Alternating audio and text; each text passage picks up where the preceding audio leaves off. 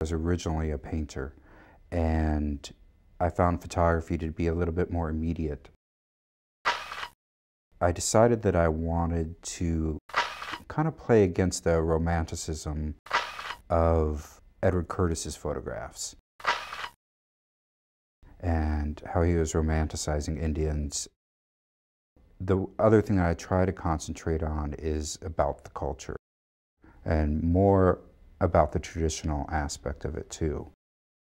Uh, one thing I try to incorporate within those photographs, though, is their clan.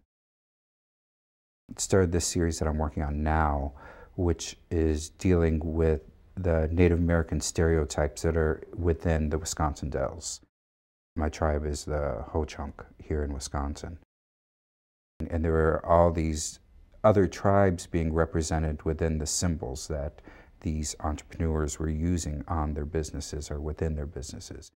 There is one photograph of a young jingle dress dancer, and she was running past me, and she had a huge uh, super soaker squirt gun.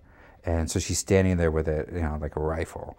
And, you know, I only got one image out of that. You know, she just, I said, stop, and she stopped there. I took the photograph and she ran off again. Um, so it's those things that where the two, I guess, cultures kind of collide are the things that really interest me. I come from a background of you must technically know uh, what you're doing before you can move on and figure it out conceptually that's where it starts with my Photo One class, is I teach them how to be excellent printers. You must have that craftsmanship um, beforehand, because how are you going to relay a message um, it, within your concept, you know, without being able to do it technically? So which of these do you guys find that kind of like stick out like a sore thumb that's not working with the rest of the images. You have certain students who want to be just artists. You have students who want to be teachers.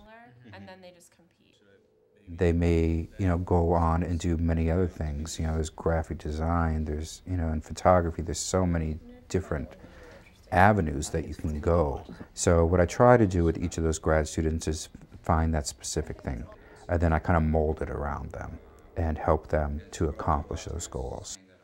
What's really wonderful about you know teaching is seeing when somebody all of a sudden just clicks. And you know they've been working on these things and working through different things and all of a sudden they just like get it. And you know that is where it really you know makes me feel good inside it's really amazing that we have three Native American um, people on our faculty within the art department. So, you know, they're taking a stand on, you know, being diverse and, you know, and hopefully it'll bring in, you know, more Native Americans, um, undergrad or grad, to our department.